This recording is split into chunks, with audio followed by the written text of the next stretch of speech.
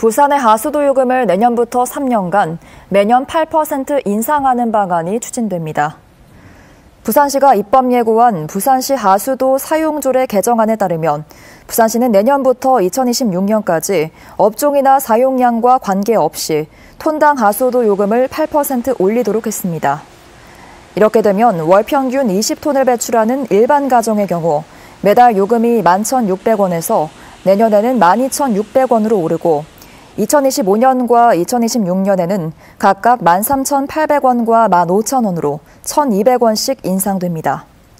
부산시는 또 공공기관 등을 대상으로 낮게 책정한 공공용 요금과 식당 등을 대상으로 높게 책정한 영업용 요금을 내년부터 일반용 요금으로 통합해 영업용 요금 기준으로 부과할 계획입니다.